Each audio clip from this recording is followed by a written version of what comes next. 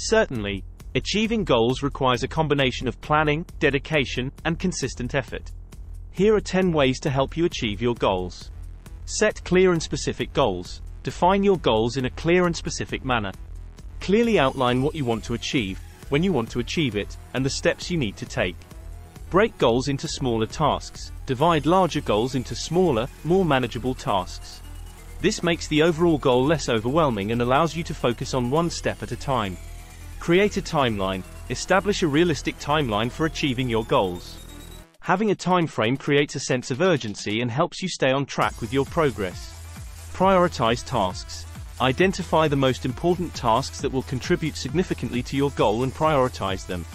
This ensures you are focusing on the key elements that will drive success. Stay organized. Keep your workspace and tasks organized.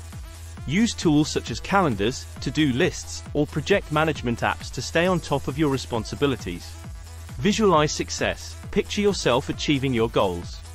Visualization can be a powerful motivator and help maintain a positive mindset, even during challenging times. Stay flexible. Be open to adapting your plan if necessary. Life is unpredictable, and circumstances may change. Being flexible allows you to adjust your approach without losing sight of your ultimate goal. Seek support. Share your goals with friends, family, or mentors.